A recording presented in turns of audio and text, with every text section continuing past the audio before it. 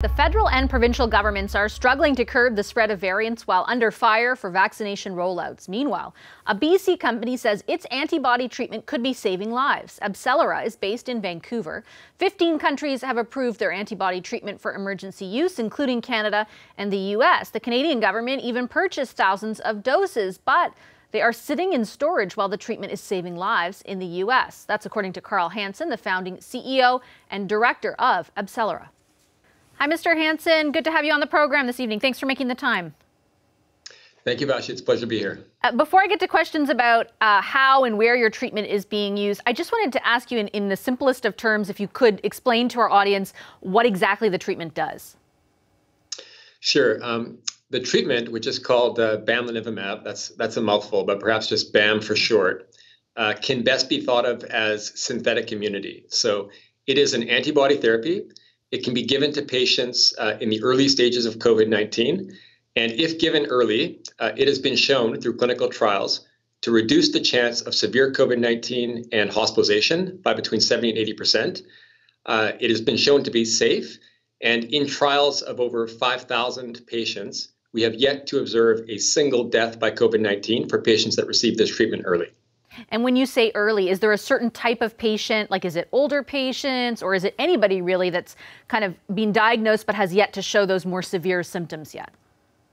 Yeah, it uh, likely would work for uh, for many patients. It is currently authorized and directed towards those patients who which are at highest risk.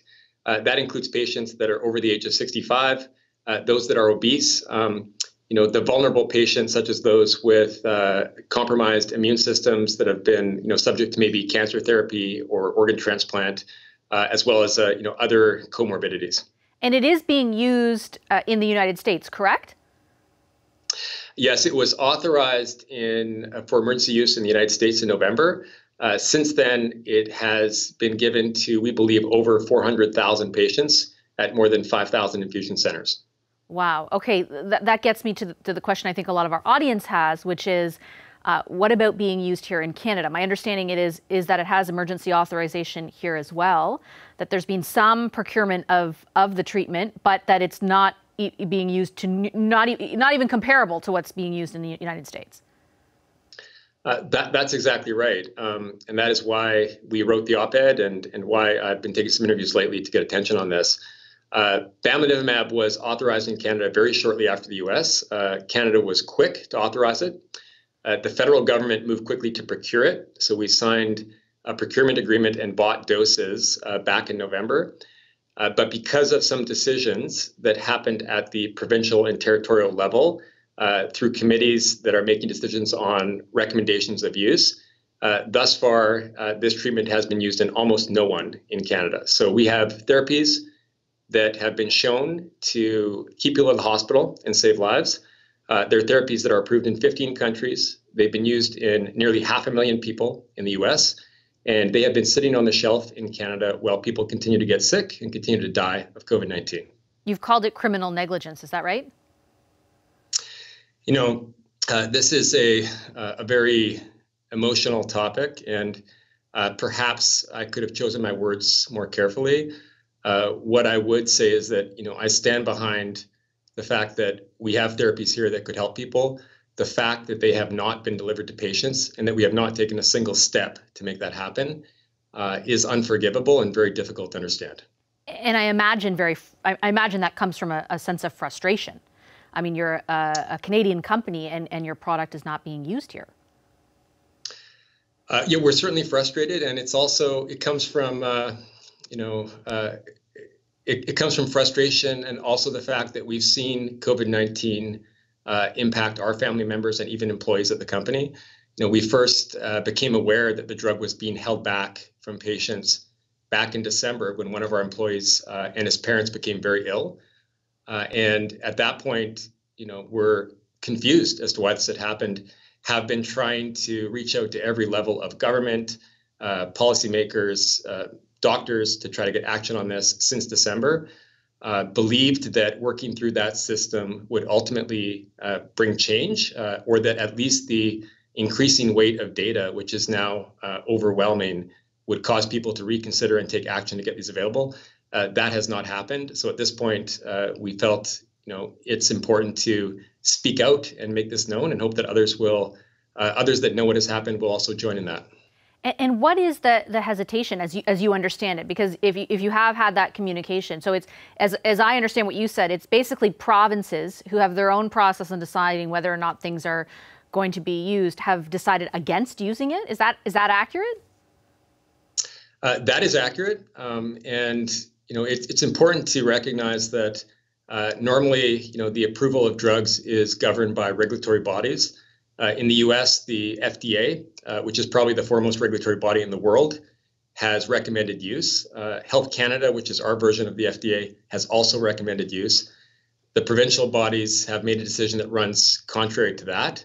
Um, that decision uh, by a small group of people, uh, and the identity of those people or the composition of those committees is not well known.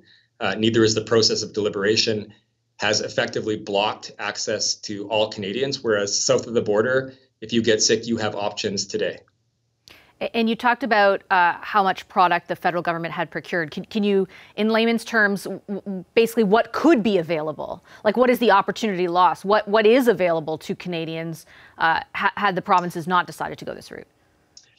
So the uh, initial procurement was for 26,000 doses. Um, I believe 18,000 of those were shipped, uh, and a very small fraction of those have been used. Uh, as part of that agreement, there was the ability to get access to more treatments. Uh, and you know, it's if we had even kept pace with the United States, uh, and I, I, expect that we would have, uh, you know, we would have you know probably had multiples of that available here in Canada that could have been used to treat patients. Um, it's important for people to understand, uh, you know, that these treatments actually save lives. Um, it, the uh, chief uh, scientific officer of the Biden administration's mm-hmm. COVID task force recently, you know, went on air and tried to communicate to people that these are important therapies they need to get um, and made it clear that every 52 people you treat will save a life. So uh, you can do the math. We have had the opportunity for three months to use these, and we had the opportunity to save lives that um, that is now lost. But we still have COVID 19, and there's still an opportunity um, to have impact on patients. Yeah, I wanted to, to ask you that. If, if provinces were to change their minds and now proceed with this treatment, is there more available for purchase? I, I, believe there is. I mean, ultimately, that's between the federal government to negotiate with Eli Lilly, which is handling the commercial supply of this.